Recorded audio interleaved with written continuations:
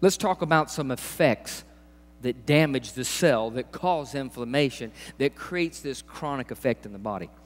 How many people have ever heard of the term oxidation? If you've been into my other past lectures, you've heard of oxidation. If you haven't, I'm going to let you know what oxidation is. Every time you eat and you have to convert food to energy, there's a process called oxidation that is a byproduct. Every time you breathe and you breathe in air, which is, believe it or not, not good oxygen, it has to be converted in the body to usable oxygen. In the process of that conversion, there's a byproduct left over called oxidation.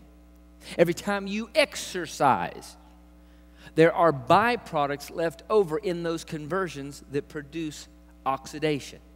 So, all of these things create oxidation. Say oxidation.